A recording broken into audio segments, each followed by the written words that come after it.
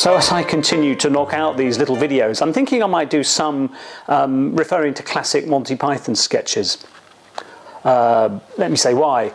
Um, I remember in biology at school doing the simple experiment where we would take a stalk of celery and plop it in a dish of blue dye and then watch as the blue dye rose up through the plant, drawn up by capillary action. That's how we revealed capillary action. And I think what Monty Python did at the end of the 60s was to run a blue dye of absurdity through the conventional structures of post-war British society. If you take any really of their classic sketches, let's say the Ministry of Silly Walks, you inject the absurd walk. But what it also does is it reveals all the inhibitions and the pomposities and the stifling structures of the pinstriped suit, the bowler hat, um, the pompous manner of the man in office, his recitation of the conventions of politics.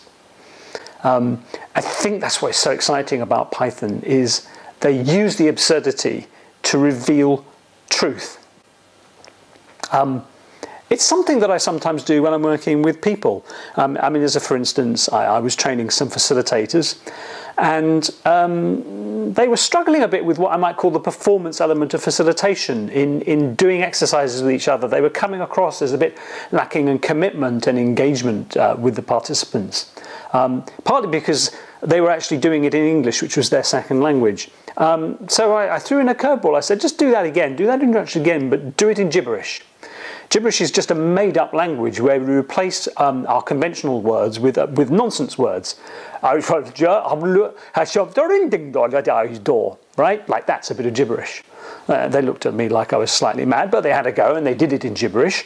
And as soon as they slip into gibberish, they gesticulated more, they became bigger. They, there was an element of absurdity about it. Things got exaggerated and caricatured, but there was more life in it. And funnily enough, when they then switched back to English, after a couple of goes in gibberish, there was actually much more life in what they were doing. And that, I think, is something that inspires me working with people. Um, and there'll be more to follow. So I hope to see you again. Thanks.